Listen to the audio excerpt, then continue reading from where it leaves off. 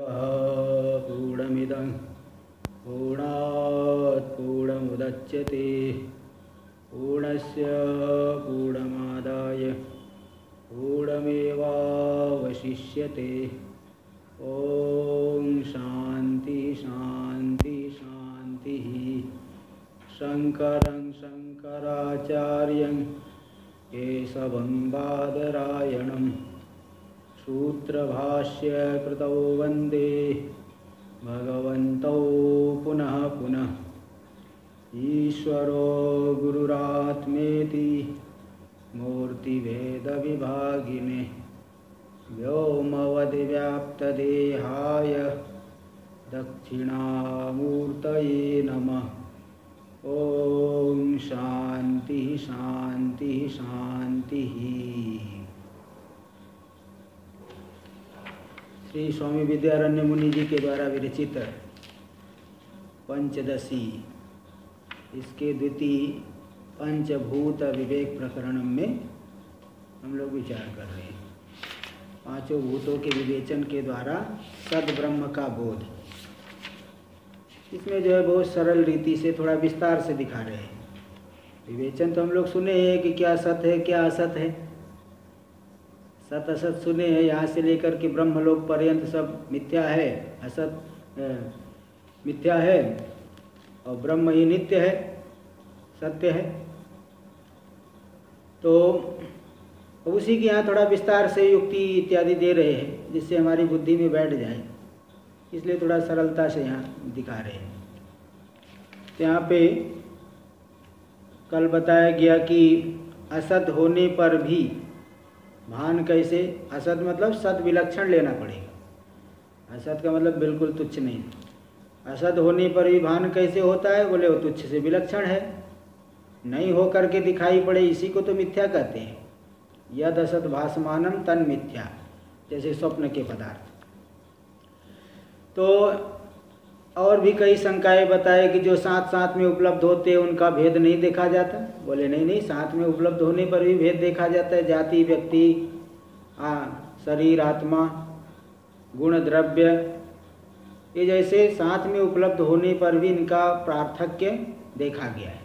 इनमें भेद देखा गया ऐसे ही सद सद, आकाश और सद दोनों का साथ में ही बोध हो रहा है तो भी इनमें भेद है। इसलिए यहाँ पे तो उस भेद को हाँ जो है, जो भेद मालूम पड़ा, उसको बुद्धि में बैठा लेना पड़ेगा। अगर हमारा एकाग्रता नहीं हो रही, ध्यान के द्वारा बैठाओ, अथवा संशय है तो विवेचन करो, प्रमाण और युक्तियों के द्वारा तो बुद्धि में बैठ जाएगा। तब इसको 76 नंबर श्लोक तक हो गया था। तो जो इस तरह से जिसकी बुद्धि में दृढ़ हो गया, आकाश मिथ्यात्व दृढ़ हो गया तो जो लोग वियत को सत्य कहते हैं, जैसे जो जगत को मिथ्या मानते हैं, ज्ञानी है जो जगत को मिथ्या मान, मिथ्या उनको निश्चित हो गया है, और जो सत्य मान करके व्यवहार कर रहे हैं बड़ा आश्चर्य होता है कैसा कैसे व्यक्ति कर रहा है। इस तरह से, जैसे कोई बहुत विरक्त है, और कोई है संसार में बहुत रक्त है तो विरक्त जो है संसार में अत्यंत रक्त को देख करके, अत्यंत राग वाले को देख करके, अरे भाई, ये कैसा आदमी है तो? बिल्कुल जो है ये तो जरा सा भी इसके अंदर विवेक नहीं है, आश्चर्य होता है। हाँ इसलिए एक श्लोक भी आता है, प्रज्ञा प्रासादम आरूह्य, असोच्य सोचतो जनान भूमिष्ठानी शैलस्थ, यथा प्राज्ञो नुपश्यति। जैसे शैलस्थ कोई व्यक्ति पर्वत के ऊपर चढ़ा हुआ है। वो नीचे वालों को देख रहा है। भूमिष्ठानी शैलस्थ। शैल पर्वत पे चढ़ा हुआ व्यक्ति नीचे वालों को देख रहा है और नीचे वाले उसको नहीं देख पा रहे। इसी प्रकार प्रज्ञा प्रासादम प्रासादम आरूह्य। प्रज्ञा रूपी इस महल पे, बुद्धि, ज्ञान ज्ञान रूपी महल पे जो चढ़ गया है तो असोच्य सोचनी नहीं है, वो शोक से पार हो गया है। तो शोक करने वाले लोगों को वो देखता है कि कैसे जो है किस तरह से संसरण कर रहे हैं, कैसे। तो देख रहा है कि जैसे जो है अज्ञान से ही भ्रांत हो रहे, लेकिन वो संसार सांसारिक व्यक्ति उस ज्ञानी की स्थिति को नहीं समझ पाता। वो ज्ञानी जो है उसको विस्मय होता है, लेकिन वो बोलते हैं हाँ ये अज्ञान से ये संसरण कर रहे हैं। इस तरह से ये बात यहाँ बताए छिहत्तर नंबर श्लोक में। उक्त न्यायम अन्यत्रापि अतिदिशति। उक्त न्याय को अन्यत्र भी अतिदेश करते हैं। अतिदेश का मतलब होता है अन्य के धर्म का अन्य में आरोप करना। जैसे गवय, नील गाय कैसी होती है? बोले भाई, नील गाय तो गो के समान ही होती है। इसको कहते हैं अतिदेश वाक्य। नील गाय गो के जैसी है। मतलब गो में जो धर्म हाँ। तो अतिदेश का मतलब होता है अन्य के धर्म का अन्य में आरोप करना। देखो उक्त न्यायम 77 का अवतरण जो एक वाक्य है उसको बता रहा उक्त न्यायम अन्यत्रापि अतिदिशति। ऊपर कहे गए युक्ति को अन्यत्र भी अतिदेश करते हैं। अतिदेश का मतलब है अन्य के धर्म का अन्य में आरोप करना। पूछा कि नील गाय कैसी होती है? गो के समान ही होती है, बता दिए नील गाय गो के समान होती है। तो इस तरह से अति, इसको इस वाक्य को कहते अतिदेश वाक्य। मतलब उस वाक्य का ये अर्थ है कि नील गाय गो में जो धर्म होते हैं, वही नील गाय में भी उसी प्रकार के धर्म है। थोड़ा भेद तो है गो में जैसे श्रृंग है, नील गाय में भी रहेगा। पुच्छ है, उसमें भी रहेगा। और चार पैर है गो में, नील गाय में भी होता है। ते सब मतलब अतिदेश, अन्य के धर्म का गो के जैसी नील गाय। ये अतिदेश इस वाक्य अन्य के धर्म का अन्य में आरोप करना, ये अतिदेश वाक्य। इसी न्याय को, इसी जो आकाश में जो युक्ति लगाई गई, उसी युक्ति को अन्य में भी अतिदेश कर रहे हैं कि वायु में भी ऐसे ही समझ लो, ऐसे ही विवेक कर लो। देखो इस सेवेंटी सेवन नंबर श्लोक। एवं आकाश मिथ्यात्वे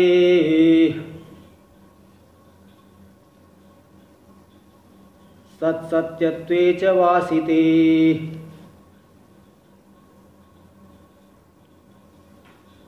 न्यायेनानेन वायवादेः। सद्वस्तु प्रविविच्यताम। एवं आकाश मिथ्यात्व। इस तरह से आकाश में मिथ्यात्व और सत सत्यत्व। सद वस्तु सत्य है, इनके वासित होने पर, इस संस्कार के दृढ़ हो जाने पर। वासना वासना दृढ़ हो गई तो वासित हो गई। आकाश का मिथ्यात्व वासित हो गया मतलब उसका संस्कार दृढ़ हो गया और सत सत्यत्व। सद ब्रह्म सत्य है, ये जो है दृढ़ हो गया। तो आकाश एक जगह से आप समझ लो, आपने एक जगह से आप पास मतलब वो सफल हो आप। वहाँ विवेचन करने में सफल हो गए। तो न्याय न आने न वायुवादे सद वस्तु प्रविवेचता आगे और चार भूत है, इसी युक्ति के द्वारा, इसी न्याय के द्वारा। वायुवादी से भी सद वस्तु को विवेचन कर लीजिए। वहाँ पे भी युक्ति लगा करके सद वस्तु अलग है, वायुवादी नहीं हो करके प्रतीत हो रहे हैं, इसलिए वो मिथ्या है। इस युक्ति से वहाँ भी विवेचन कर लेना चाहिए। एवं इति। इसका टीका नहीं आगे देखिए ननु आकाश कार्यस्य वायोर कारणभूतेन सद्वस्तुना तादात्म्य प्रतीत्योगात् सतो विवेचनम अप्रयोजकम देखिए, पहली बात तो विवेचन कहाँ से करना है, जहाँ पे तादात में प्रतीत हो। है ना? जैसे शरीर के साथ तादात में है तो शरीर से अपने आप को विवेचन करना पड़ेगा। दूसरे के शरीर के साथ आपका तादात में नहीं है तो वहाँ से विवेचन करने की क्या आवश्यकता है? मैं इससे भिन्न हूँ। तो दिख ही रहा है, दूसरे का शरीर अलग है हम हम अलग है। मैं अलग हूँ, दूसरा अलग है। तो जहाँ पे तादाद में मालूम होता है, वहीं पे विवेचन किया जाता है। इसलिए ब्रह्मसूत्र में पहले अध्यास की सिद्धि की गई। क्योंकि अध्यास ही नहीं होगा, फिर शास्त्र विचार व्यर्थ हो गए। जब आत्मा जो है, अत्यंत शुद्ध, बुद्ध मुक्त है, असंग है, उसमें कोई अध्यास हो ही नहीं सकता, फिर शास्त्र विचार करने की आवश्यकता है। तो आप बताए कि नहीं? युक्ति से देखा जाए तो अध्यास सिद्ध नहीं हो सकता। जैसे सूर्य में अंधकार हो, ये बात युक्ति से सिद्ध नहीं हो रही है। है ना? युक्ति से सिद्ध नहीं है तो भी बीच में मेघ आ जाने पर अविवेकी पुरुष आरोप करता है कि सूर्य में आज प्रकाश नहीं दिख रहा है। ऐसे ही युक्ति से तो नहीं सिद्ध हो रहा है कि आत्मा में कोई बंधन हो सकता है।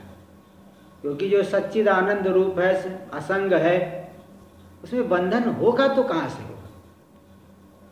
लेकिन अनुभव में तो आ रहा है कि मैं संसारी हूँ, जीने मरने वाला हूँ। युक्ति से भले नहीं सिद्ध हो रहा, लेकिन अनुभव में आ रहा है। तो इसलिए मतलब जब अध्यास का ज्ञान प्रत्यक्ष हो रहा है कि मैं ब्राह्मण हो क्षत्रिय हो गोरा हो काला हो लंबा हो बीमार हो स्वस्थ हो है ना सुखी हो दुखी हो करता हो भोगता हो हाँ इस तरह से जो शरीर आदि के धर्मों को लेकर के आरोप हो रहा है, अनुभव, प्रत्यक्ष अनुभव हो रहा है। युक्ति से नहीं मालूम पड़ता है, लेकिन प्रत्यक्ष अनुभव हो रहा है। इसलिए अध्यास की सिद्धि के लिए ये प्रत्यक्ष ही प्रमाण है कि स्वयं अनुभव हो रहा है स्वयं में अनुभव हो रहा है। संसार का अनुभव दुखी कोई दूसरा है क्या? भाई, दूसरा दुखी तो आपके परेशान हो रहे हैं। आपको साधना करने की आवश्यकता है। जैसे कोई दूसरा बीमार है, कहीं यहाँ से कहीं सौ किलोमीटर दूर कोई हॉस्पिटल में भर्ती है। उससे हमारा क्या लेना देना? हमसे हमारा संबंधी नहीं, हमको जानते ही नहीं, उसको तो हमारा क्या लेना देना? इसलिए जो है, अनुभव प्रत्यक्ष अनुभव में आ रहा है कि हम जो है सुखी दुखी हो रहे इसलिए उसको जो है अध्यास को मिटाने के लिए फिर विचार करना पड़ता है। तो मुख्य बात यह है कि विवेचन कहाँ होता है? जहाँ तादात में प्रतीत हो। दो अलग अलग चीज़ है, दोनों का तादात में प्रतीत हो तो विवेचन करना पड़ेगा। यही बात देखिए बता रहे ननु आकाश कार्य से वायोर अकारण भूतेन सदवस्तुना तादात्म्य प्रतीत्य योगा देखिए, आकाश का कार्य है वायु। तस्माद वायु, तस्माद आत्मना आकाश संभूत। आकाशाद वायु। वायोर अग्नि अग्निराप। रद्भ्य पृथ्वी। अद्भ्य पृथ्वी। तो उस इस आत्मा से पहले आकाश उत्पन्न हुआ। आकाश से वायु उत्पन्न हुआ। वायु से अग्नि उत्पन्न हुई। अग्नि से जल उत्पन्न हुआ, जल से पृथ्वी उत्पन्न हुई। तो श्रुति में तो कहा गया कि आकाश का कार्य है वायु, और सद ब्रह्म का कार्य तो श्रुति में नहीं कहा गया है। इसलिए सद ब्रह्म तो वायु का कारण नहीं है।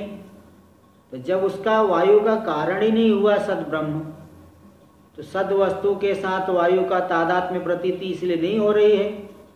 भाई कारण हो, तब तादात में होगा। सुवर्णम कुंडलम। कुंडल सोने का बना हुआ है। तो तादात में मालूम पड़ेगा कि कुंडल सुवर्ण है। घट मिट्टी से बना हुआ है तो तादात में प्रतीति होगी कि घट मृतिका है। ठीक है? शरीर जो है, पाँचों भूतों का विकार है तो हम कहते हैं शरीर पाँच भौतिक है। पाँच भूत रूप है। जो जिसका कार्य हो, उसके साथ तादात्म्य की प्रतीति होती है। किंतु आकाश का कार्य है वायु। सद ब्रह्म तो उसका कारण है नहीं। तो कार, आ, जो कारण नहीं सद वस्तु उसके साथ वायु के तादात्म्य की प्रतीति संभव नहीं है। इसलिए सतो विवेचनम अप्रयोजकम। सत से वायु का विवेचन करना कोई अनुकूल तर्क वाला नहीं अप्रयोजक है, अनुकूल तर्क से रहित है। अप्रयोजकम का अर्थ लिख लेना अनुकूल तर्क शून्यम। अप्रयोजकम नहीं बार बार पूछोगे आप अप्रयोजकम यानी अनुकूल तर्क शून्यम। हाँ बोलिए।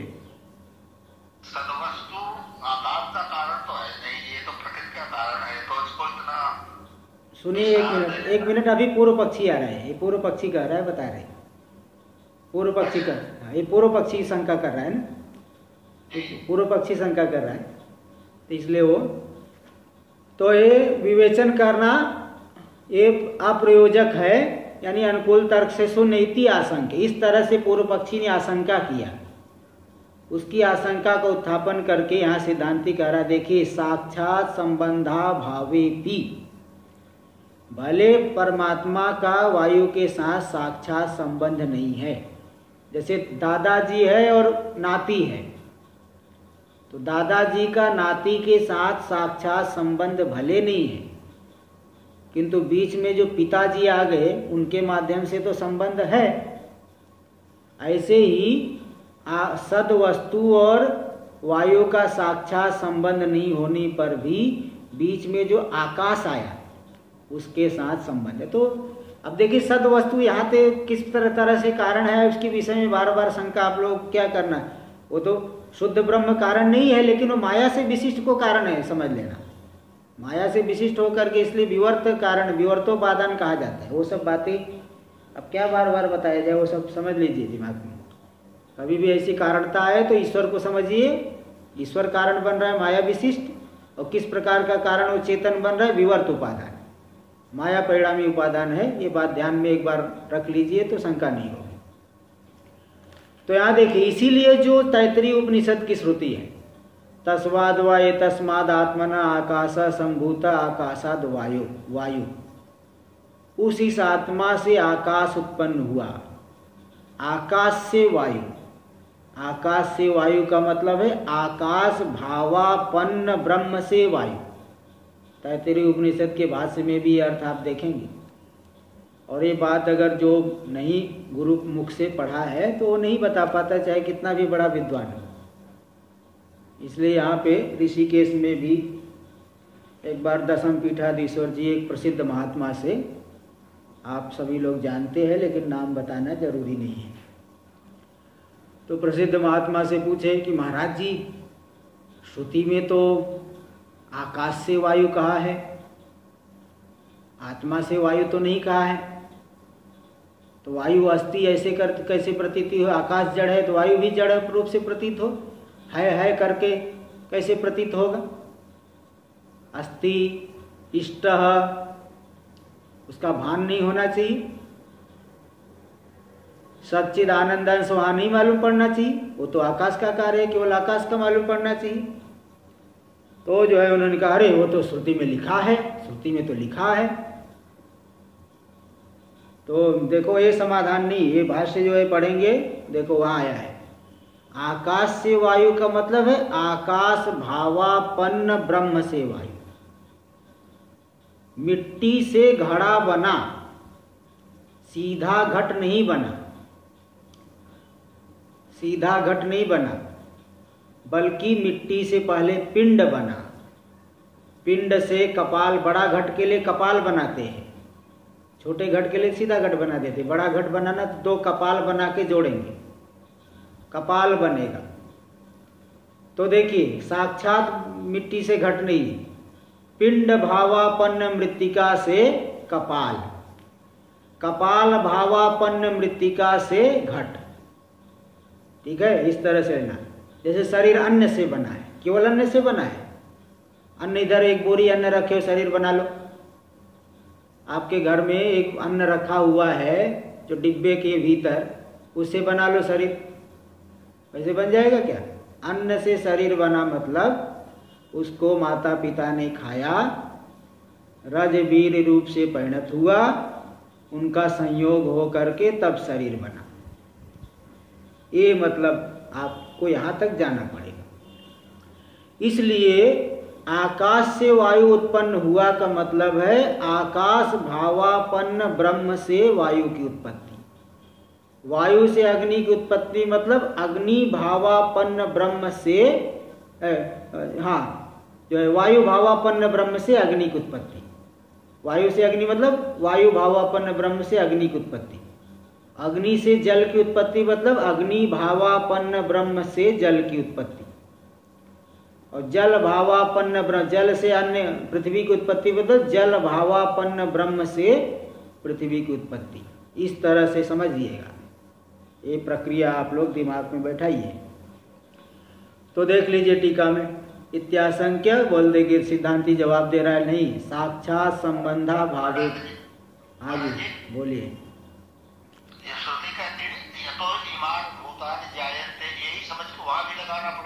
हाँ और क्या? जहाँ जहाँ कारण की बात आई ईश्वर लीजिए सीधी सीधी बात। हाँ जन्माद्य से जिससे हाँ। जन्मादि हो रहा है वो ब्रह्म है। वो ब्रह्म मतलब ईश्वर। तो ईश्वर है तो फिर ब्रह्म का लक्षण क्यों बता रहे बोले भाई वो भी तटस्थ लक्षण है। तटस्थ लक्षण है। है ना? हमेशा नहीं रहने पर भी जैसे टोपी वाला देवदत्त है। तो टोपी उसके शरीर का अंग नहीं है तो भी टोपी से देवदत्त लक्षित हो जाएगा। तटस्थ लक्षण बोलते इसको। चलिए देखिए। तो साक्षात संबंधा भावे भी परंपरा संबंधो अस्ति। साक्षात संबंध भले नहीं है तो भी परंपरा से संबंध वायु के साथ में है।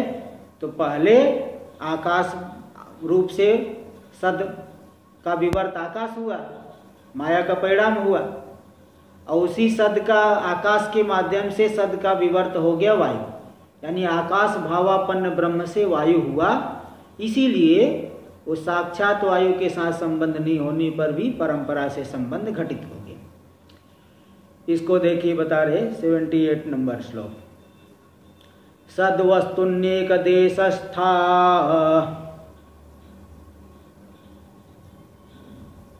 माया तत्रैक देशगम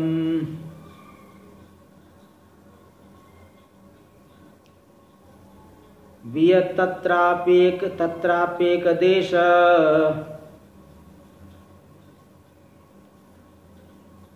गतो वायु प्रकल्पितः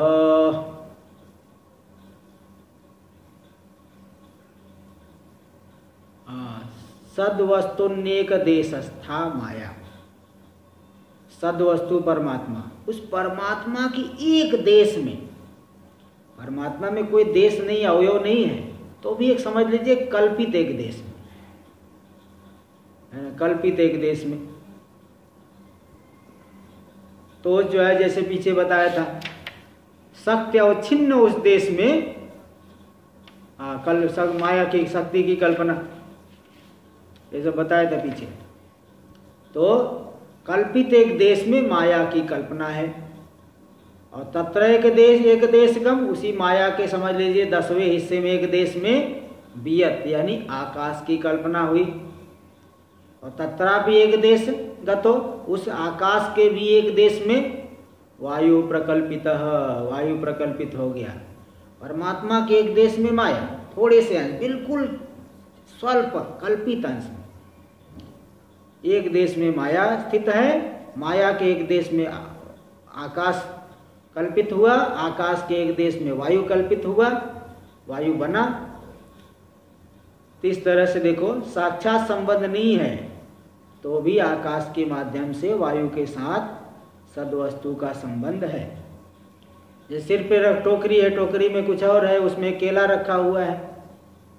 तो साक्षात संबंध नहीं तो भी परंपरा संबंध है। ऐसे यहाँ भी समझ ली, सदवस्तु नहीं। इसमें टीका नहीं आगे देखिए एवं सदवायु संबंधम प्रदर्श्य। इस तरह से सद ब्रह्म और वायु के संबंध को दिखा करके। तयोर धर्म तो भेद ज्ञान आए। सद वस्तु और वायु में धर्म को लेकर के भेद ज्ञान के लिए वायु प्रतीयमान धर्मान।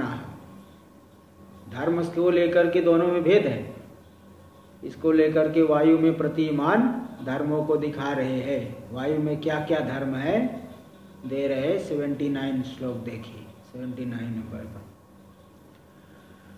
शोषस्पर्शो गतिर्वेगो।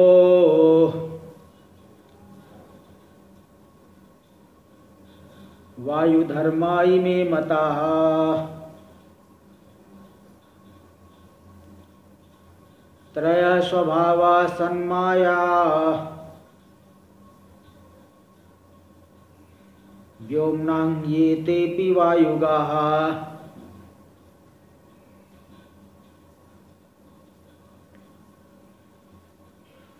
शोष स्पर्शो गतिर्वेगो। वायु धर्मा इमे मता। शोषण सुखाना। कपड़ा आप, गीला कपड़ा रस्सी पे फैला दीजिए, सूख जाता है। किसका धर्म, कौन सुखा रहा है? कोई नौकर लगा के रखे वायु सुखा देता है। इसी प्रकार स्पर्श स्पर्श तो वायु का प्रधान धर्म है, और गति वायु हमेशा चलायमान रहती है। कभी जो है, रुकती नहीं। गति उसका धर्म है, इसलिए वृक्ष की पत्ते हिलते रहते हैं हमेशा। कुछ न कुछ हिलते रहेगा। तो वायु चल रही है, इसलिए कुछ न कुछ पत्ते आदि हिलते रहते हैं। वेग, उसमें वेग बहुत होता है। तूफ़ान देखो, इसलिए आ जाता है, वृक्ष आदि उखड़ जाते हैं, घर टूट जाता है। वेग उसमें धर्म है। वायु धर्माई में मता तो ये उसमें स्पर्श तो प्रधान हो गया। शोष, स्पर्श, गति और वेग, ये अवान्तर धर्म है। मुख्य धर्म नहीं है, गौण, अवान्तर धर्म, उसके अवान्तर धर्म। प्रधान धर्म हो गया स्पर्श।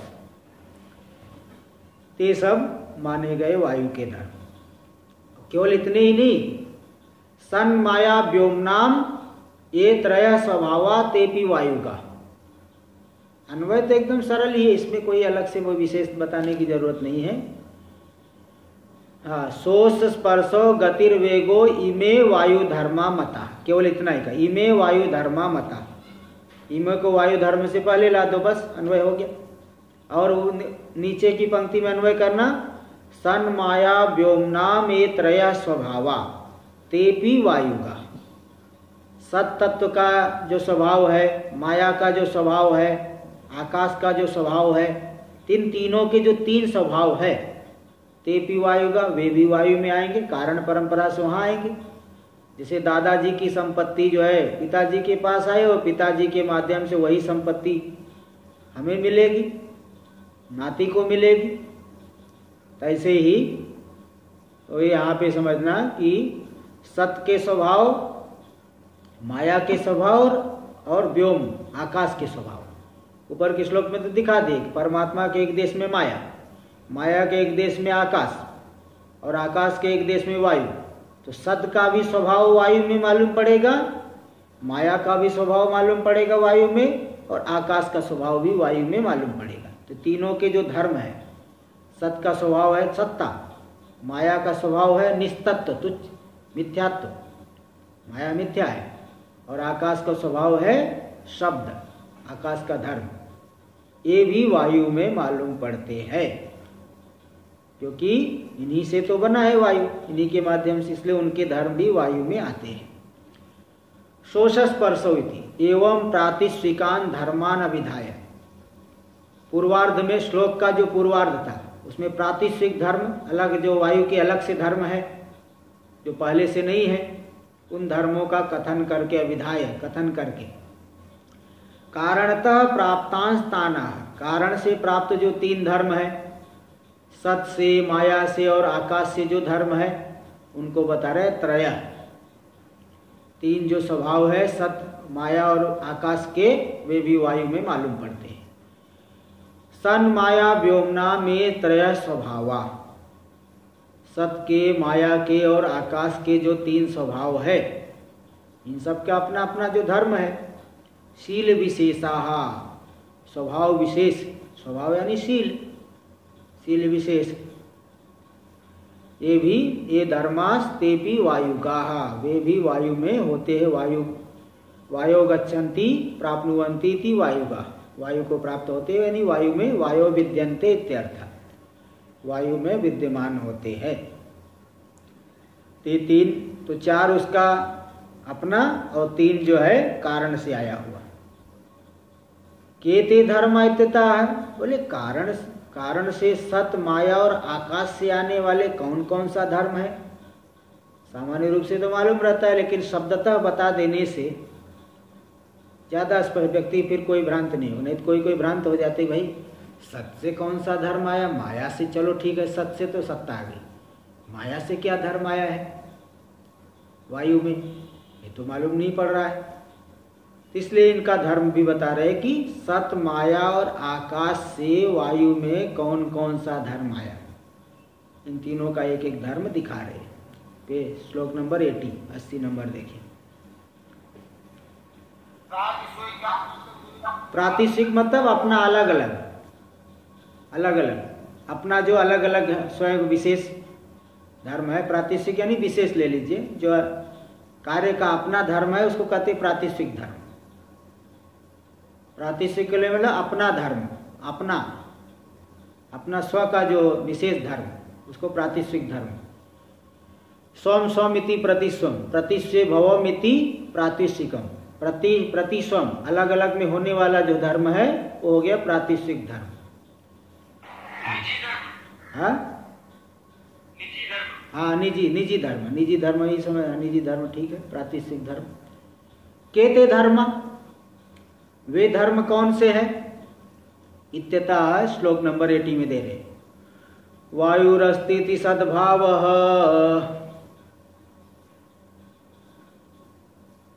सतो वायो पृथक कृते।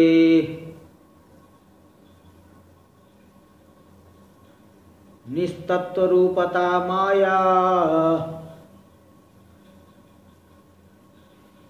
स्वभाव व्योम गोध्वनि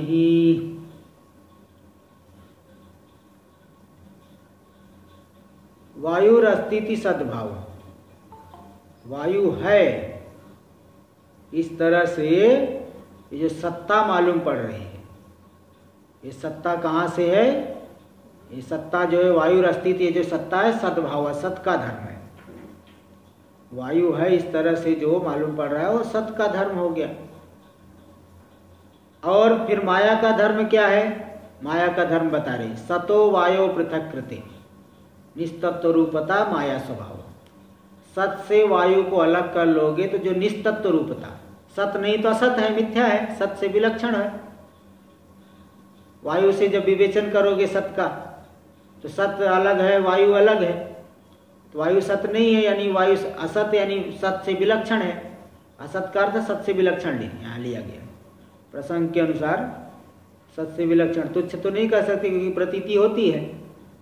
इसलिए सत से विलक्षण, जो निस्तत्व रूपता वायु में मालूम पड़ेगी विवेचन करने पर। वही है माया का स्वभाव। ये जो मिथ्यात्व है, ये माया का स्वभाव हो गया।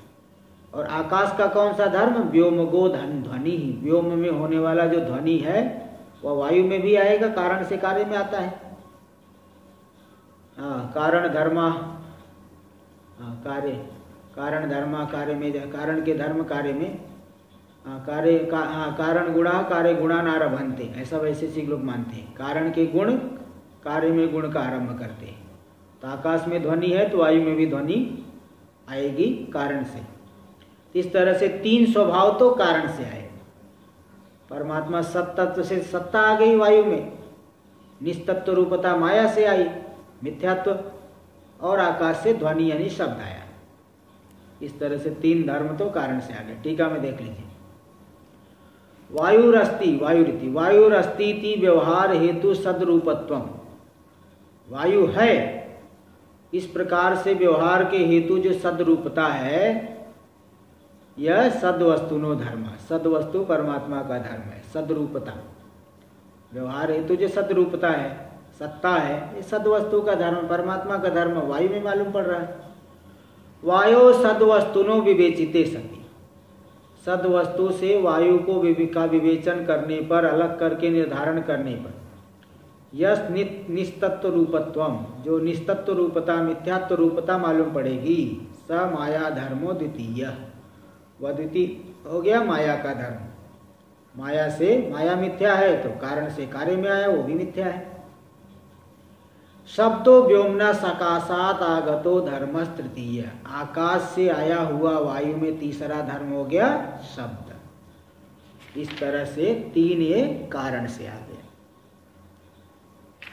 अब देखिए आगे। ननु व्योम विवेचन प्रस्तावे वायवादिशु अनुवृत्तम सत न तो व्योमेति भेदति। ये जो श्लोक नंबर 67 जब आकाश का विवेचन कर रहे थे, सत से तो हाँ सिक्सटी सेवन नंबर श्लोक आया था कि भिन्ने वियत सती, सत और आकाश भिन्न भिन्न है, क्योंकि शब्द भेदात बुद्धिश्च भेदता। शब्द अलग अलग है, बुद्धि भी अलग अलग है, ज्ञान भी अलग अलग होता है। तो भेद भेद ज्ञान कैसे हो रहा है? बोले, वायु आदि में सत की अनुवृत्ति सब जगह वायु आदि में भी है, किंतु आकाश की अनुवृत्ति वायु में नहीं है। पहले तो आप ये बताए थे कि सत की अनुवृत्ति सब जगह है, आकाश की अनुवृत्ति नहीं है। लेकिन यहाँ आप विपरीत बोल रहे हो। यहाँ तो कह रहे हो कि आकाश कारण है। कारण से कार्य में धर्म आएँगे, आकाश का धर्म ध्वनि वायु में है तो आकाश की अनुवृत्ति हो गई।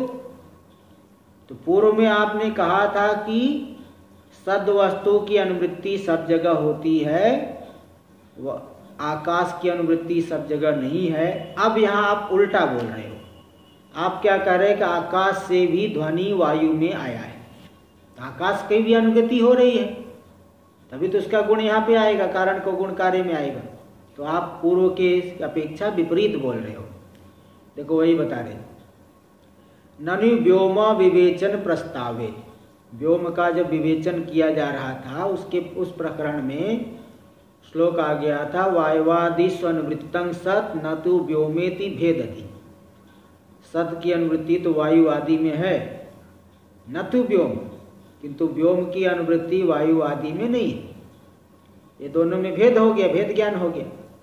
इत्यत्र वायुवादव आकाशानुवृत्तिर निवारिता इस श्लोक में वायु आदि में आकाश की अनुवृत्ति का निवारण किया गया। आकाश की अनुवृत्ति, वायु आदि में नहीं होती इदानी व्योमानुवृत्ति अभिधीयते लेकिन अब जो है, आकाश की अनुवृत्ति का आप कथन कर रहे हो। आकाश की अनुवृत्ति वायु में होती है, क्योंकि वायु, आकाश से ही शब्द वायु में आया है। अतः पूर्वोत्तर विरोध इति संकते। पूर्व में जो आपने कहा था और अभी जो बता रहे उल्टा बोल रहे हो अभी। पूर्वोत्तर के साथ विरोध है। पहले कुछ कह रहे थे, अभी कुछ कह रहे हो। ये तो ऐसा कुछ भी बात बदलते रहे तो फिर तो उसकी बात नहीं मानी जाती है। इसलिए आप जरा इसका स्पष्टीकरण करिए, ऐसा पहले क्यों कहे थे विपरीत? तब इसको दिखा रहे श्लोक। हाँ ये क्लियर नहीं हो पाया कि माया का स्वभाव जो है वायु में आया हाँ और वो तत्व है मिथ्या हाँ ऐसा कभी नहीं भागता वायु में माया पड़ी नहीं इसीलिए तो विवेचन करिए ना। सत के साथ तादाद में करके मालूम पड़ रहा है वायु है। लेकिन जब अच्छा। विवेचन करोगे कि नहीं जो है वायु की अनुवृत्ति सब जगह नहीं है सद ब्रह्म की अनुवृत्ति सब जगह है इसलिए सद अलग है वायु अलग है तो सद जो प्रतीत हो रहा था वायु में वो सद जब फिर निकल जाएगा। आपकी बुद्धि में हो जाएगा नहीं वायु सत नहीं है। सत अलग है वायु अलग है। सत नहीं मतलब असत है असत मतलब सत से विलक्षण। तो वो मिथ्या है। अच्छा वो?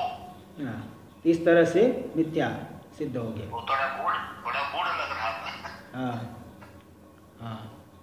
तो इसलिए हाँ चलिए तो इस तरह से वो तो वही वही उसी पूर्व के समान ही वो वही मिथ्यात्व को समझना है। पूर्व में जैसे बताए थे कि भाई जब विवेचन करोगे, विवेचन कैसे? बुद्धि शब्द भेद को लेकर के और ज्ञान भेद को लेकर के। वायु ये शब्द अलग है, सत ये शब्द अलग है। शब्द अलग अलग प्रयोग हो रहा है। वायु के लिए वायु कहोगे, हिंदी में हवा कहा जाएगा, और भी बहुत से शब्द का प्रयोग पवन कहते हैं अनिल कहते हैं। इस तरह से बहुत शब्द प्रयोग होता है वायु के लिए। तो सद वायु के लिए अलग शब्द प्रयोग होता है, ब्रह्म सत के लिए ब्रह्म, सत, चैतन्य, इन शब्दों का प्रयोग होता है। तो ये शब्द का भेद है। और बुद्धि का भी भेद है दोनों में। बुद्धि जो है, ज्ञान अलग अलग होता है। अनुवृत्ति, व्यावृत्ति। तो सद ब्रह्म की अनुवृत्ति सर्वत्र है, वायु की अनुवृत्ति सर्वत्र नहीं है। इस तरह से बुद्धि भेद भी है, इसलिए वायु सदरूप नहीं है। तो सदरूप नहीं होने से वह मिथ्या है। तो जो है, इस तरह से विवेचन हो जाएगा। और इस विषय में आगे बता रहे हैं, इसलिए जो सत से विवेचन करने पे जो निस्तत्व रूपता मालूम पड़ेगी वायु में, ये माया का धर्म हो गया। यही है। अब यहाँ पे जो पूर्वोत्तर विरोध की शंका किए थे, उसका विरोध की शंका यहाँ दिखा रहे जो अवतरण में आ गया टीका में, उसको श्लोक में देखिए। श्लोक के अवतरण लिख रहे हैं, इसलिए श्लोक में देखिए। श्लोक नंबर एटी वन सतोनुवृत्ति सर्वत्र। व्योम्नो नेति पुरेरितम्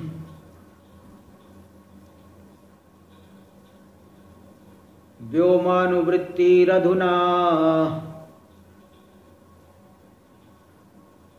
कथं न व्याहतं वचः। पूरा सतोनुवृत्ति सर्वत्र व्योमो व्योमनो न इति पूर्व में आपने श्लोक नंबर 67 में सड़सठ में आपने कहा था कि सद ब्रह्म की अनुवृत्ति सर्वत्र होती है, आकाश की अनुवृत्ति नहीं होती है, पहले आपने कहा था। और अधुना अब क्या कह रहे हो? व्योमानुवृत्ति, व्योम की अनुवृत्ति वायु में कह रहे हो? तो कथम न व्याहतम वच, आपकी वाणी व्याघात परस्पर विरुद्ध क्यों नहीं हो रही है? पहले आपने अलग बताया था, अभी अलग बता रहे हो। तो विरुद्ध बोल रहे हो। यहाँ पे आपने आकाश की अनुवृत्ति बता दी। देखो सतय थी। व्योना, व्योमानुवृत्ति अधुना उच्चती थी शेष। अब जो है, आकाश की अनुवृत्ति बताई जा रही तो परस्पर विरोध मालूम पड़ रहा है। इस विरोध का समाधान करिए। तभी हम लोग तीन दिन का अध्याय रहेगा, उनतीस तारीख से आगे समाधान तो आगे, अगले पाठ में उनतीस तारीख को होगा। तीन दिन अध्याय। ओम पूर्णमद पूर्णमिदं पूर्णात् पूर्णमुदच्यते। पूर्णस्य पूर्णमादाय पूर्णमेवावशिष्यते। ॐ शान्ति शान्ति शान्तिः। शङ्करं शङ्कराचार्यं केशवं बादरायणं सूत्र सूत्रभाष्यकृतौ वंदे भगवन्तौ पुनः पुनः। ईश्वरो गुरुरात्मेति मूर्तिभेदविभागिने व्योमवद्व्याप्तदेहाय दक्षिणामूर्तये नमः। ॐ शान्तिः शान्तिः शान्तिः।